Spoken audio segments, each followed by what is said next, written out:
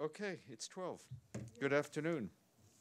Um, this morning, as you know, the Secretary General spoke at the Security Council's open meeting on COVID 19 vaccination. He said that vaccine equity is the biggest moral test before the global community.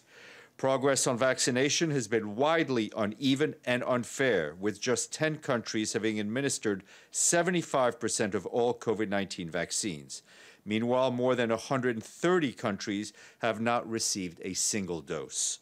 Mr. Guterres warned that if the virus is allowed to spread like wildfire in the global south, it will mutate again and again. New variants would, could become more transmittable, more deadly, and potentially threaten the effectiveness of current vaccines and diagnostics. This can prolong the pandemic significantly, enabling the virus to come back to plague the global north and delaying the world economic recovery. The Secretary General called on the G20 to set up a task force to create a global vaccination plan to bring together all those with the required power, scientific expertise, and production and financial capacities. He said that the he said that the G7 meeting later this week can help create the momentum to mobilize the necessary financial resources. And also speaking at today's meeting was UNICEF's executive director, Henrietta Fore. She asked council members for their support in these areas. First, to urge member states to ensure that everyone is included in national vaccination plans, regardless of the legal status or if they live in areas controlled by non state entities. Second, on a global ceasefire minimum for humanitarian pause for the duration of the vaccine delivery, and lastly, to help UNICEF restart stalled immunization campaigns for other diseases.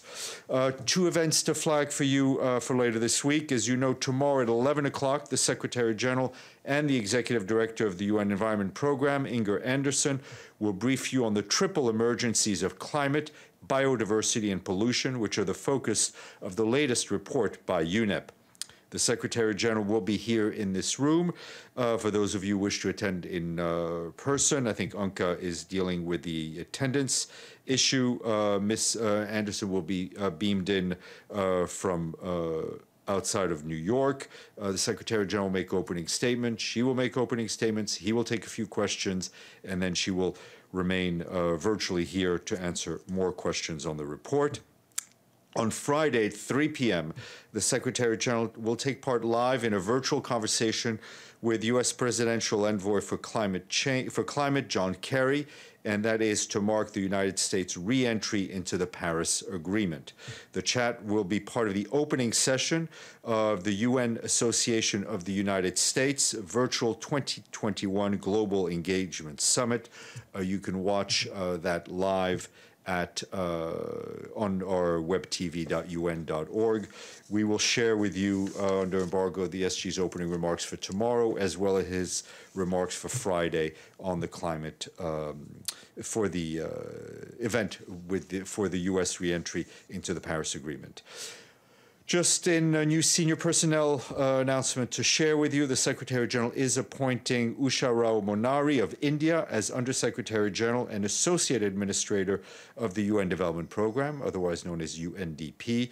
The Secretary General expresses his gratitude and appreciation to Mourad Wahba of Egypt for his commitment as Associate Administrator at interim for and his 30 years of service uh, in the United Nations. He also wishes to extend his appreciation uh, to Tege Getu of Ethiopia for his significant contributions to the development agenda as UNDP's Associate Administrator. As senior advisor to Blackstone's infrastructure group, Ms. Rao Monari is an investment professional with almost 30 years of investment experience, particularly in the infrastructure area. Her full bio is on the interweb. Uh, turning to um, uh, an update on the Ebola situation. Uh, in the Democratic Republic of the Congo, vaccination teams are working in the northeast of the country. WHO and UNICEF, as well as other partners, are mobilizing to support the response, rehabilitating treatment centers, and boosting contact tracing capacity. Communication campaigns are also helping combat misinformation among local population to promote safe vaccination. In Guinea, our UN team started a four-day mission today to start to assess the situation in the southeastern part uh, of the of uh, Nizere uh, Nizere area, the first where the first case of Ebola was report, uh, reported. The mission is led by the resident humanitarian coordinator, Vincent Martin, with representatives of the Office of the High Commissioner for Human Rights, FAO, and the World Food Program, as well, of course, as the World Health Organization. Less than 24 hours after the official declaration of the epidemic, uh, the UN, UN's Humanitarian Air Service, with logistical support from the World Food Program, organized a first humanitarian flight to the area. It carried personal protective equipment for healthcare personnel, assistance kit for infected people, and disinfection equipment. The UN delegation met with local authorities as well as community leaders. They also took part in a crisis meeting organized by national authorities to roll out a rapid contact tracing mechanism to assess the spread of the disease and establish an effective response plan. This includes emergency vaccination distribution, case management, crisis communication, and help with border management. Quick note on Somalia from the Food and Agriculture Organization uh, which said today that more than 2.6 million people in the country are expected to be extreme food insecurity. Poor rainfall, flooding, desert locusts are the main contributing factors. The situation could worsen through the middle of the year, barring large scale and sustainable humanitarian assistance. From July to December of last year, aid reached more than 1.8 million people per month on average in parts of Somalia. This large scale humanitarian government support helped to minimize the magnitude of the crisis. However, funding is needed and urgently to boost efforts to reduce the new food security threats the country is currently facing. Um, Secretary General has congratulated Karim Khan on his election as the next prosecutor of the International Criminal Court. Uh, the Secretary General affirms the continued support and cooperation of the UN under the relationship agreement between the UN and the ICC. Um, and. To uh, just to end on some good news, uh, though no, uh, no on the honor roll per se, we are very thankful for our friends in Cyprus, uh, in the Philippines, and in France who have paid up their uh, budget dues in full, which brings the ROTA up to 46 states. Okay. Uh, Celia and then James. I give myself a break here before. Oh, I know, sorry. at a meeting of the G5 Sahel countries, President Macron said that France will not reduce the number of its so- uh, soldiers in Mali. But at the same time, the population is asking the French soldiers to leave because the security situation is worse than before their arrival. What could the mission do to diffuse the rising tension between the population and France? Look, uh, I, I'm in no uh, position to assess that relationship. What I can tell you is that uh, in Mali, what the UN presence on the ground is trying to do is to uh, continue to help foster political dialogue, political uh, the implementation of the agreements that have already been signed to bring peace and stability uh, to Mali. I mean, that is the best solution for the people of Mali. Yes, but if the mission doesn't do anything, it will have an impact on the mission. Well, the mission will, you know, the, the mission through its, uh, and the UN presence through its humanitarian work, through its development work, um, and obviously through its peacekeeping work, is trying to improve the lives of the Malian uh, people. Uh, but the for stability and calm to return to Mali, a big part of that responsibility lies on the shoulders of Malian leaders themselves. Mr. Bays, and then Ray. Staying in West Africa, um, Nigeria, um, um, their 27 students have been abducted. The UN's reaction. we call for their immediate uh, release. Uh, attacks on, on schools, on children, are abhorrent uh, and need to be condemned in the strongest terms. Large protests in Myanmar. Um, any update on the UN's engagement with that country, on the special envoy and her movements, on any calls the Secretary General may have made? The special envoy continues her her contacts, uh, trying to to move forward on a on a possible visit. There's nothing to. Um, there's been no no change as far as I'm aware of. We, she continues her efforts. Our colleagues on the ground are, are reporting on these large uh, scale demonstrations. We continue to be worried um about the state of the country, uh, frankly, and, and the need for the military uh, to reverse uh, to reverse course and listen to the uh, and implement the democratic will of the of the people of Myanmar. Final question from me for now. Um, uh, Uganda, you've expressed your concern about human rights abuses in Uganda. You've expressed your concern about possible abductions in Uganda. Uh, Bobby Wine, the opposition politician, today um, took a um, petition on this very subject to the UN office in Kampala.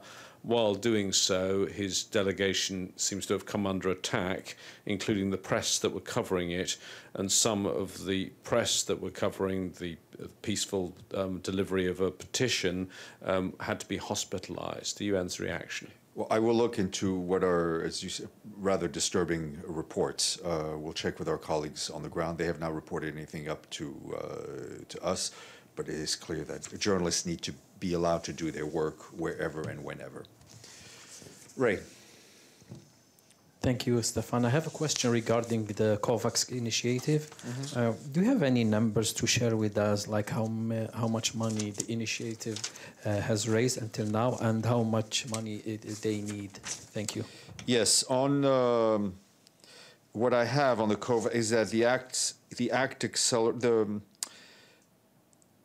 support for the COVAX facility has been uh, outstanding, and more, but more is needed. We need right now five billion dollars to meet uh, the the uh, target. Uh, let me get you the let me get you that full that full figure. Okay. Uh, all right. Any questions in the chat? Let me look.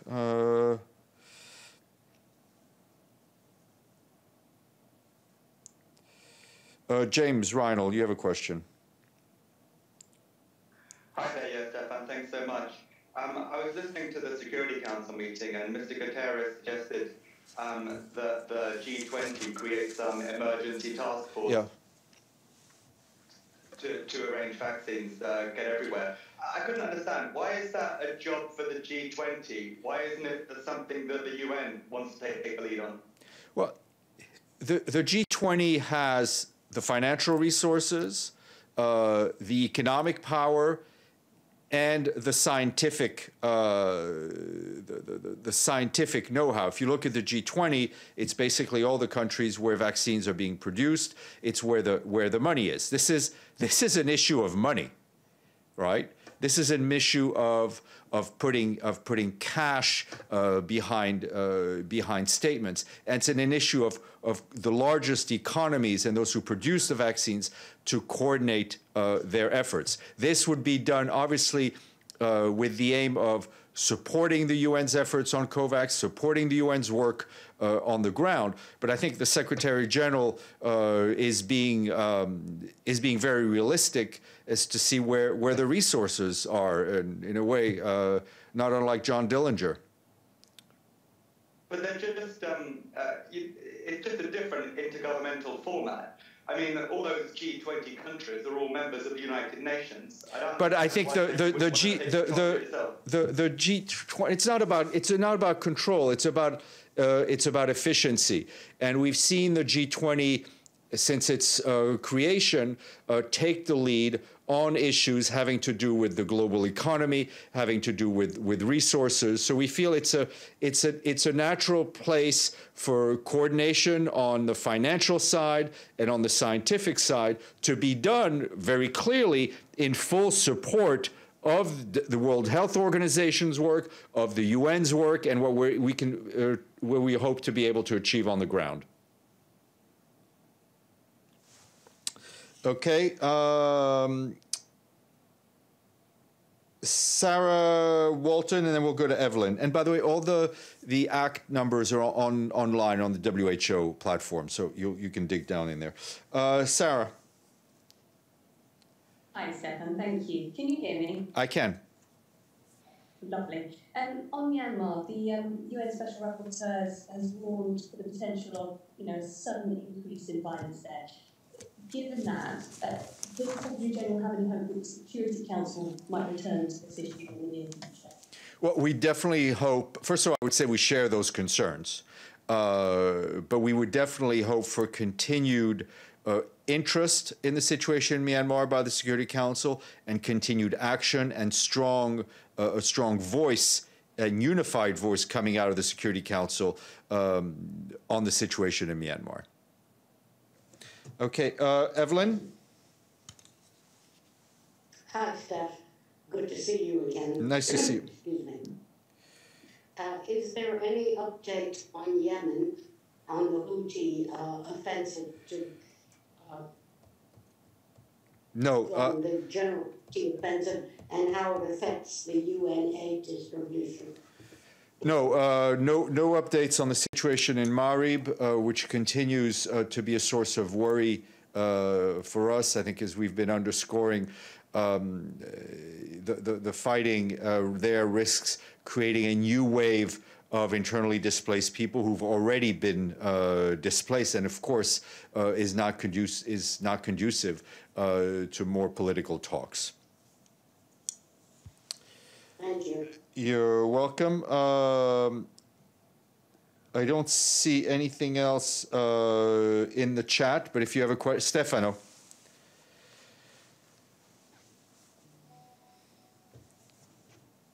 Thank you very much, Stefan. Um, it's a question I asked you a month ago. Now it's uh, seven months um, death of uh, Mario Paciolla, and uh, unfortunately, especially the family is not satisfied with um, what's happening. They even uh, use the, the word omerta. That probably is a word everybody knows. It's a word when, the, when you don't want the truth come out. The mafia uses that word. Uh, so there is anything that you can uh, say from the UN to help the people that wants the truth from Mari Paciolla that remind everybody was working for the United Nations in Colombia. Look, first of all, we we share uh, and understand the anguish of, of the family, which is more, more than understandable. Uh, what I will say is that we continue to work very closely uh, with the relevant national authorities, whether it's the Colombian authorities or the Italian authorities, who have the primary uh, responsibilities for these uh, criminal investigations, and we will continue to do so. Mr. Bays, you look like you want to say something, or at least ask something. Actually, it's sort of more say something. It's it's not really a, a, a proper substantial question, but it's about uh, scheduling.